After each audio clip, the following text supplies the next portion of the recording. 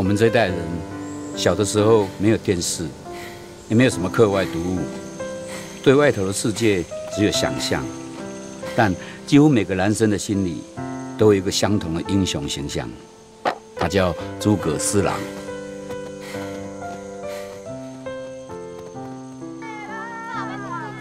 每个礼拜四的下午，孩子们就会在杂货店的大树下等候，一如等候一场戏开演，等候英雄降临。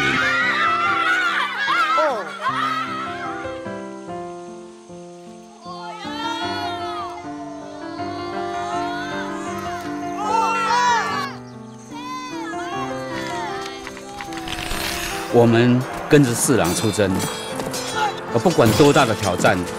英雄总是可以反败为胜，正义最后终于粉碎邪恶。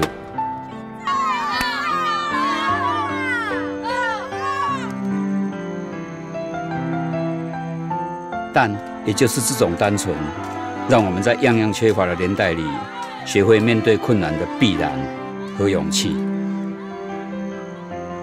在混乱的时代中，我们特别怀念这样的英雄。因为他始终可以在惊险的时刻，替我们打开一条明亮的出路。诸葛四郎是我们心里永远的英雄，是我们的故事。